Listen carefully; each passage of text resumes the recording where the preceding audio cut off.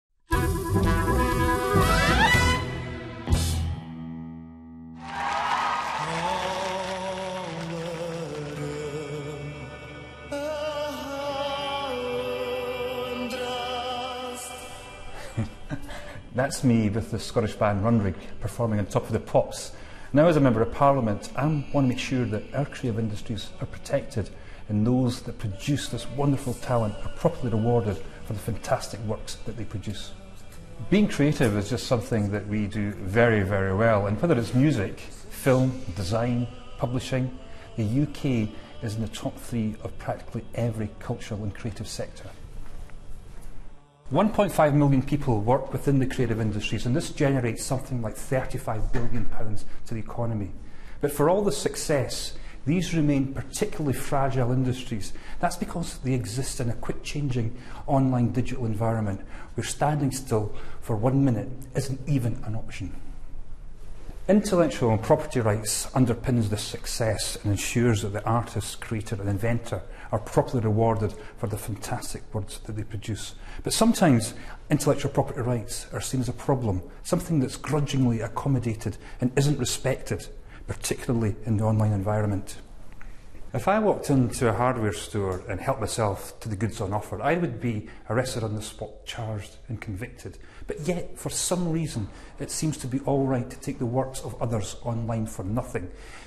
This threatens popular TV shows like Downton Abbey, the Premier League, our music and film industries, and it's something that really risks investment and jobs.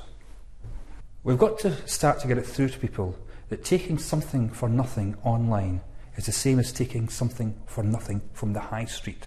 The IP rights are important property rights that protect the artist and the creator and ensure they're rewarded for the works that they produce.